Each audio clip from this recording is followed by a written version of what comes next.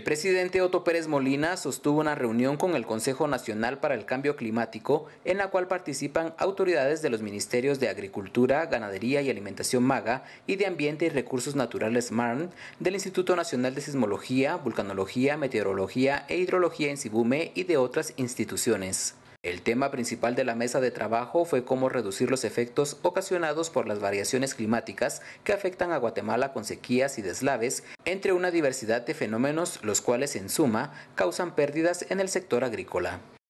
Como le digo, nuestro tema más es adaptación, cómo nos defendemos del cambio climático y cómo abordamos y, logramos hacer estos, a estos fondos. Claro, el camino no es fácil, hay varios procesos que hay que cumplir, especialmente tener proyectos para avanzar en esta y acceder a estos fondos.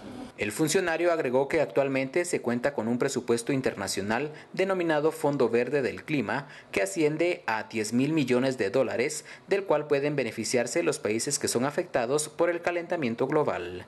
Para DCATV informó Jarvin Yelmo.